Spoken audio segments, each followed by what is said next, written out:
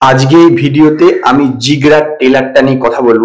এর আগে টিজার বেরিয়েছিল, কিন্তু সেটার নাম দিয়েছিল টিজার টেলার তো এটা বোঝা গেল একটা টিজার ছিল, তো এইটা হচ্ছে ট্রেলার তো এই ট্রেলারটা আগের টিজারের যে বেরিয়েছিল, তার কয়েকটা সিন এখানে আছে, যে হাতুড়ি নিয়ে মারাতে যাচ্ছে বা দৌড়াচ্ছে, এবং তার যে এই যে অঙ্কুর, যে বেদান্ত রায়না যে রোলটা করেছে তাকে যখন ইলেকট্রিক শকটা দিয়ে যখন দেওয়া হচ্ছে ওইভাবে মানে কিছু খুঁজে বের করার চেষ্টা করছে তখন তাকে যা ন্যাকেট করে।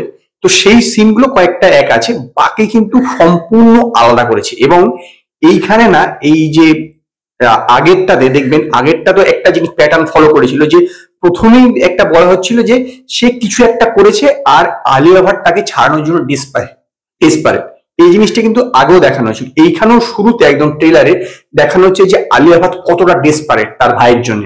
সে হাতটাও কেটে দিতে পারে হাতের শিরা কেটে দিতে পারে, শুধুমাত্র তার সঙ্গে দেখা করে বলে। এবং সেই সব সিনটা এত সাবলীল ভাবে এত নর্মাল ভাবে কথাটা বলছে না, মনেই হচ্ছে না তার কোনো ফিলিং আছে। মানে হাত কেটে দেওয়ার পরে তার যে কিছু হতে পারে, সেই বিষয়ে কোনো অনুভূতি নেই। জাস্ট যে ভাইয়ের সঙ্গে দেখা করতে যাওয়ার জন্য এতটাই ব্যাকুল। মানে এইভাবে জিনিসটাকে শুরু করা হচ্ছে। এবং প্রথমে একটা ফোন কল আসছে সেখানে সে বলছে যে কোনো কোনো ব্লাড স্যাম্পেল না হয়েছে কিনা, কিছু পাওয়া গেছে কিনা। মানে সম্ভবত যে এই বেদান্ত রায় নাম বিদেশে পড়তে যাবে, সেটা তো আগেই দেখানো হয়েছিল টিজারে তো সেইখানে গিয়ে সম্ভবত কোনো ড্রাগ র্যাকেট বা কোনো মাদক পেচারে কিছু একটা ফেসে যাবে। কারণ ওই সব দেশে যে এইসব পশ্চিমের দেশগুলোতে, সেখানে কিন্তু এটাতে খুব মারাত্মক ব্যাপার এবং তাকে মৃত্যুদণ্ড দেওয়া হবে এবং মারাটা এরকম ভাবেই হবে যে ইলেকট্রিকে যেরকম ইলেকট্রিক শক দিয়ে মারায়, সেরকম একটা করে মারা হবে কারণ মারা তো যাবে না এইটুকু হান্ড্রেড পার্সেন্ট শিওর আমি আপনাকে বললে, বলতে পারি যে আলিয়া ভাট তো ছাড়িয়ে নিয়ে আসবে জেল থেকে।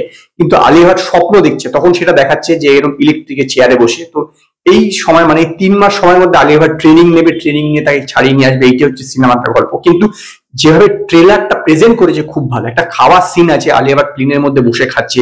সেই সময় পিছনে যে বিজিএমটা বাজে করে মানে একটা মানে যত জোরে খাচ্ছে, তত জোরে পিছনে মিউজিকটা বাজে একটা ভাইব ক্রিয়েট করেছে দুর্দান্ত। এবং পরের দিকে, শেষের দিকে গিয়ে সেইখানে একটা ভাই বোনের যে সম্পর্কটা সেটাকে দেখানো হয়েছে। আগে যেরকম একটা গান ইউজ করা হয়েছিল, ফুলোকা, তারকা, এখানেও আলাদা একটা গান ইউজ করছে, কিন্তু আলাদা রকম ভাবে ওইটা কিন্তু বেশ ভালো লাগছে। কারণ কিন্তু প্রথমে যে দিকে যে টেনশনটা ছিল, সেইটা পরের দিকে গিয়ে যখন আপনি এটা দেখবেন, আপনি তো এটা নিজেও বুঝতে পারছেন যে তাকে ছাড়ানোর জন্য যাচ্ছে এবং ট্রেনিং নিচ্ছে আলটিমেটলি তাকে ছাড়িয়ে আনবে এরকম কিছু একটাই হবে। এটার তো বেশি তো কিছু হতে পারে না। কিন্তু পরের দিকে যে আপনার ফিলিংটা চেঞ্জ হচ্ছে যে ভাই বোনের সম্পর্কটা কীরকম, সে বোন মানে তার দিদি, তাকে ছাড়ানোর জন্য কতটা ডেসপারে সেটা ছোটবেলায় এরকম ছিল যে জাস্ট তার ভাইয়ের সামনে দাঁড়িয়ে গেল, সে সামনে কতগুলো বাচ্চা দাঁড়িয়ে আছে মারার জন্য। তো এই জিনিসটা ভাইবটা কিন্তু ক্রিয়েট করতে পেরেছে। অ্যাকচুয়ালি কি বলতো? কোনো ক্যারেক্টারের উপরে যদি আপনার ফিলটা আসে বা তবেই না আপনি সিনেমাটা দেখবার জন্য উৎসাহী হবেন, এই জিনিসটা কিন্তু এই ট্রেলারটা ক্রিয়েট করতে সক্ষম হয়েছে নো ডাউট বেশ ভালো রকম ট্রেলার বানিয়েছে এবং সেই কারণেই আমি জিগরার ট্রেলারটাকে পাঁচের মধ্যে চারটে স্টার দেবো। যদি আপনারা জিগরার ট্রেলারটা দেখে থাকেন, তো আপনারা আমার কমেন্টে জানাবেন আপনাদের এই ট্রেলারটা কীরকম লেগেছে। যদি আপনাদের এই ভিডিওটি পছন্দ হয়, ভিডিওটিকে লাইক করুন কমেন্ট করুন শেয়ার করুন। আর নতুন নতুন আপডেটের জন্য আমার চ্যানেলকে সাবস্ক্রাইব করুন।